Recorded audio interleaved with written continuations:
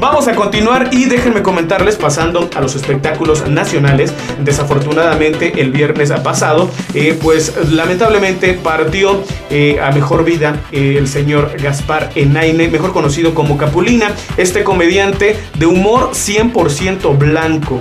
muchos de ustedes tal vez lo recuerdan con este personaje, Capulina, al lado de Viruta, esta mancuerna perfecta que hicieron. Y el día de hoy, en homenaje a este extraordinario artista, pues hemos elaborado un reportaje, pues para que te des cuenta quién es realmente este extraordinario artista, o era, mejor dicho, extraordinario artista que pues partió a mejor vida. Y pues bueno, las condolencias también a toda, toda su familia. Chequen este reportaje y ahorita regresamos. Esto es Inquietud TV. ¿Qué no te fijas que vamos disparejos? Pues también tú te me adelantas. Tú que te atrasas, fíjate bien. Bueno, vamos a contar y le entramos. Si me haces favor.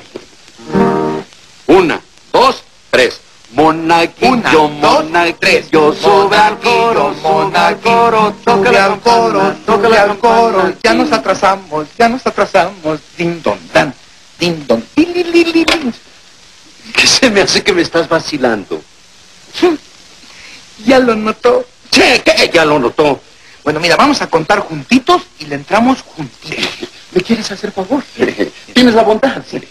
¿Listo? Bien. Una, dos, tres.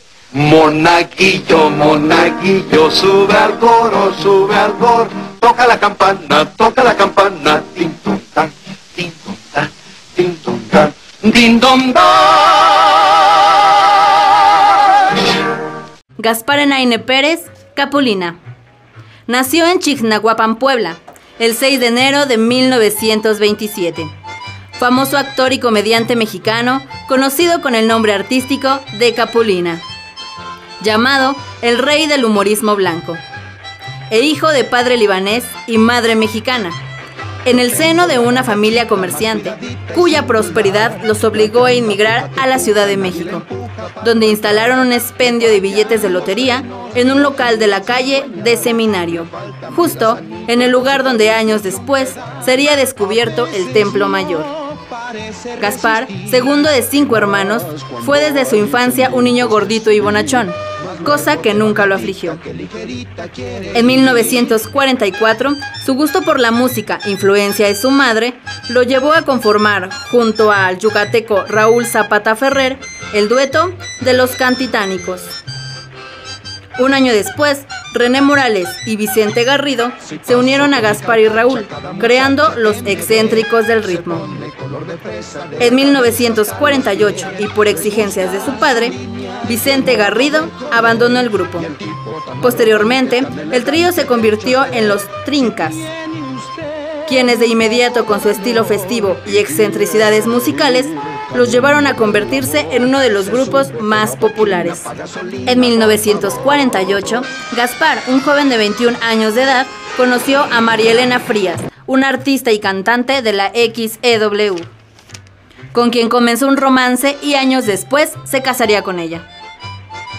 Pionero de la televisión mexicana en el Canal 4 y Canal 2, Capulina se hizo famoso en toda Latinoamérica, junto con su socio profesional Marco Antonio Campos Contreras, alias Viruta. En 1953 comenzaron a filmar películas juntos, de las cuales realizaron cerca de 26. Capulina realizó en su vida un total de 84 películas, 58 de ellas después de haberse separado de su socio Viruta. También grabó 12 álbumes musicales. Una de sus más famosas películas fue El Santo contra Capulina. Capulina también fue torero, actor de teatro y comediante de escenario. Además, fue el iniciador del circo encabezado por un artista de renombre, viajando a través de Latinoamérica con el circo de Capulina. Pasó sus últimos días junto a su familia y falleció el 30 de septiembre del año en curso. Descanse en paz, Gaspar Enaine, Capulina. Bianca González, Inquietud TV.